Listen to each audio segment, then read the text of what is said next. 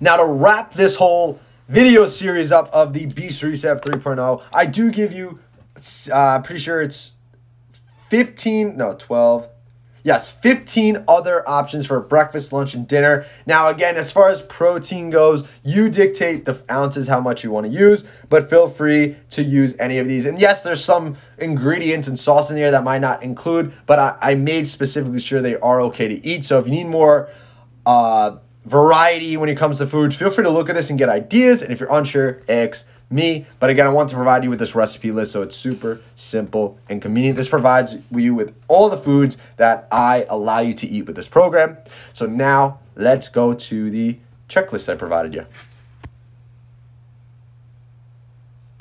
So now this is something that I've been doing since the first ever reset in programs is I like to do almost like a monthly calendar, especially because the challenge is 28 days. So this one you can specifically print out. And I always say put it somewhere you go to in the morning or night. I usually go to my kitchen table in the morning so I can always have things to write there. I used to put this on my over my um on the wall over my light switch. So before bed every night when I turn my lights off, I would check off that I made sure I did everything for the day. So as you see here, it's just saying, did you follow all four rules? And if you did, you won your day. If you do win your day, you mark it as a W. If you, let's say, messed up, right? You ate something unhealthy, you didn't drink enough water, you did something bad, right? Try your best to maybe do it, right, to win your day. But if not, just to reinforce the habit. But if not, mark it as an L, and that's the uh, uh, mark it as an F, and it's for falling off. Okay, and that's okay if you do failure day. If you win six days a week, six out of the seven days a week, you are winning your entire week, which is amazing. Our goal is to win as many weeks as possible, um, many days as possible.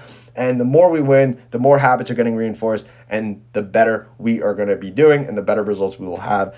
And then to wrap this all up, we have our we, to wrap this up, have your weeks one through four daily checklist. Now, this is something you can use because it does also give you the simplicity of checking things off, and you can even write your little uh, review at the bottom and send the picture to your accountability coach if you want. So now going through all the tasks essentially you'll be doing every day throughout the program, breaking the rules into the rules, right? Because some some rules have other tasks aligned with it. So you see here, you'll see just to make myself bigger. Monday, Tuesday, Wednesday, Thursday, Friday, Saturday, Sunday, and you go check off. So on Monday, if you drink your water, if you drank your water first thing in the morning, check. If you did avoided social media for the first 30 minutes, check. You took your OptiGreens. Now, if you don't get OptiGreens, you can just clear that out. You don't have to worry about it.